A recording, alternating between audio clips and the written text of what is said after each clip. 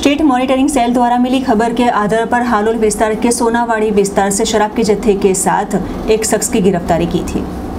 गुजरात राज्य की state monitoring cell द्वारा गांधीनगर की टीम ने मिली खबर के आधार पर फ़िलहाल अलग अलग जिला तालुका में छापेमारी की जा रही है। ऐसे में एसएमसी की टीम को मिली खबर के आधार पर हालोल नगर के सोनवाड़ी विस्तार में रहती महिला बुटलेगर, कोकिला बेन चंदूबाई राणा के मकान में तथा पास में आए हुए उनके पुत्र संजय चंदू राणा के मकान में छापेमारी करते हुए विदेशी शराब की अलग अलग बोतलों का जत्था बरामद किया गया। पुलिस ने अट्ठासी कीमत की